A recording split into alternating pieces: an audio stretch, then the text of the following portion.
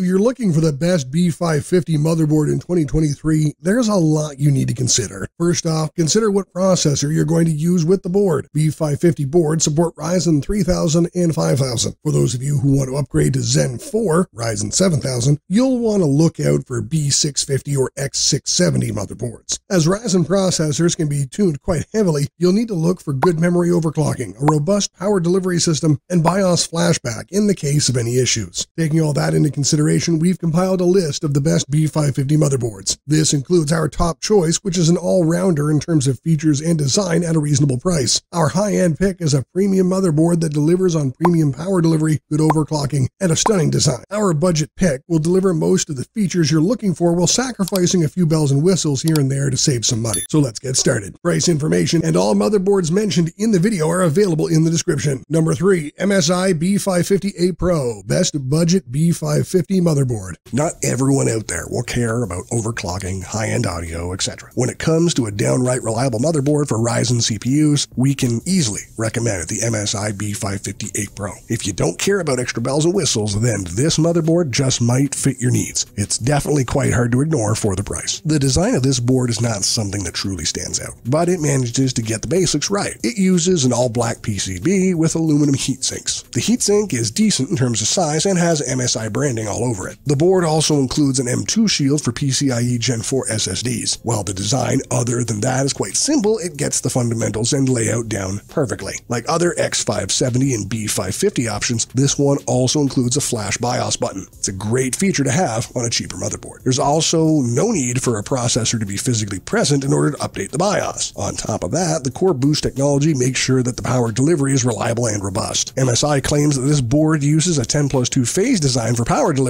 and in reality, it uses 5 phases with 2 power stages in each phase. This means you can't heavily overclock or tweak to your liking. However, you are getting dual M2 slots with PCIe 4.0, fast memory support, and reliability, all at a cheaper price tag. If you don't mind the aesthetics, it's a great board to get in terms of reliability, especially on a budget. Our ratings for VRM design are 7.5 out of 10. Aesthetics, 7 out of 10. Connectivity, 9 out of 10. Value for your money is a 9 out of 10. For an overall rating, 8.12 out of 10. Before moving to the next board, it would really help us continue making more videos if you support us by just hitting the like button and subscribe, or even with a comment so that we know if you like it or if there's something we can do to improve next time. I promise it costs nothing, just a few seconds. So let's move to the next B550 board. Number two, Gigabyte B550 Aorus Master, best high-end B550 motherboard. If you're looking for a B550 motherboard that has it all, then the Aorus Master is the best B550 motherboard for you. While the pricing for this motherboard creeps into X570 territory, it's the absolute best you can get out of the B550 chipset. So the Gigabyte B550 Aorus Master is a high-end motherboard, and it definitely looks the part. The design is not that different compared to the X570 versions. That's not necessarily a bad thing, since the X570 Aorus Master is already quite easy on the eyes. The chipset heatsink shows off the Aorus Falcon logo with great pride. Even better is the fact that there's no chipset fan, unlike the X570 version. The B550 chipset does not need an active fan to keep cool, and this is a big plus in terms of acoustics for your gaming PC. Apart from that, the board is mostly all black with gray accents here and there. All three of the M2 slots feature heat sinks with a line pattern design. On closer inspection, this pattern runs from the rear panel cover to through these heat sinks. The rear panel cover also sports some subtle RGB lighting. This I.O. shroud blends in with the gigantic VRM heat sinks, covering the 16-phase delivery system. 14 of those digital phases are dedicated to the V-Core, meaning you can get superb performance out of nearly any Ryzen processor. This 16-phase power delivery also allows for excellent CPU overclocking. Speaking of which, memory overclocking is quite impressive, as you can crank DDR4 kits all the way up to 5200 MHz. Of course, you'll have to find the right RAM kit to do so, but it is technically possible. The audio codec also performs well, delivering high-end audio quality without any static or interference. You also get a diagnostic panel and four debug LEDs that can display error codes. This is a great feature seen on higher-end boards, so it's great to see that it's present here. Apart from that, connectivity is also excellent, as you'd expect. You have access to a total of 11 USB ports on the rear, plenty of fan headers, Wi-Fi 6, 2.5 gigabyte per second Ethernet, and five RGB headers. Needless to say, this motherboard covers pretty much all the bases. The only issue here is the price. For a bit more, you can get an X570 motherboard that will wipe the floor with most B550 boards out there. However, thanks to the excellent VRM configuration, this one is an exception. If you want the best B550 motherboard out there and money is no object, this is the one to buy. Our rating for VRM design is 9 out of 10. Aesthetics aesthetics, 9 out of 10. Connectivity, 9 out of 10. Value for money, 8 out of 10. For an overall rating of 8.7 out of 10. Number 1. Asus ROG Strix B550F Gaming Wi-Fi, our top choice. No list of best motherboards for any processor is complete without a Strix board. This is due to many reasons. First off, the product line is extremely popular, and secondly,